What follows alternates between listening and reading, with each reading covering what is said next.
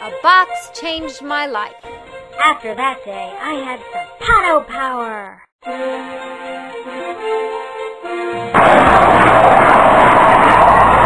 And I was very busy.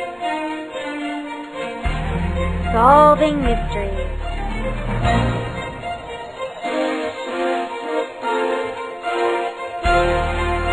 And helping people out.